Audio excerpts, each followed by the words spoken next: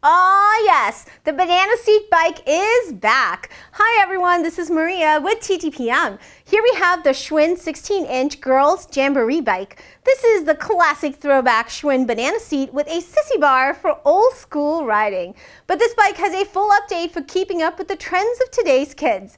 This classic Schwinn bike has a high tensile steel kids frame.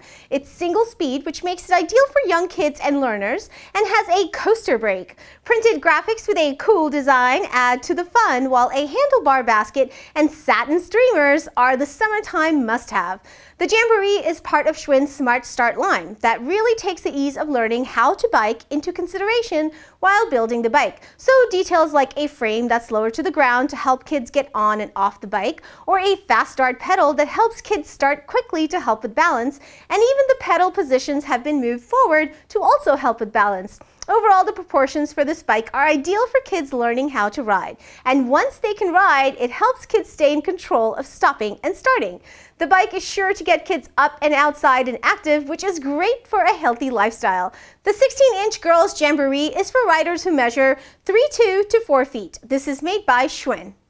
For more information, including where to buy and current pricing, come find us at TTPM and make sure to subscribe to our YouTube channels for more reviews every day.